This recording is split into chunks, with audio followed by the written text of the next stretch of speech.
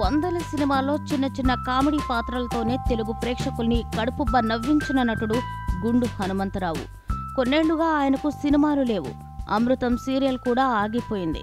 దీంతో ఆర్థిక ఇబ్బందుల్లో పడ్డారు. దీనికి తోడు కిడ్నీ సంబంధిత వ్యాధి ఆయన్ని కుంగదీసింది.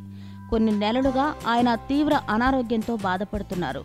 జూబ్లీహిల్స్లోని అపోలో ఆసుపత్రిలో చాలా రోజుల నుంచి చికిత్స అందుకుంటున్నారు గుండు. ఇటీవలే మెగాస్టార్ చిరంజీవి ఆయనకు రెండు లక్షల రూపాయల సాయం అందజేయడంతో గుండు పరిస్థితి అందరికీ తెలిసిందే.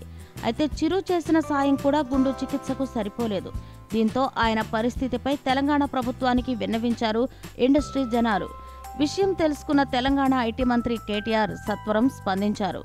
సీఎం రిలీఫ్ ఫండ్ కింద గుండుకు ఐదు లక్షల రూపాయల సాయం మంజూరు చేయించారు. ఈ విషయమై ఈరోజు సర్క్యులర్ కూడా జారీ చేయించారు. ఈ సర్క్యులర్ ప్రతిని కేటీఆర్ ట్విట్టర్లో పోస్టు చేశారు. దీంతో సామాజిక మాధ్యమాల్లో సెలబ్రిటీలు సామాన్యులు అందరూ కేటీఆర్పై ప్రశంసల జల్లు కురిపించారు. చేసినవి చిన్న చిన్న పాత్రలే అయినా గుండు హనుమంతరావును తెలుగు ప్రేక్షకులు అంత సులువుగా మర్చిపోలేరు.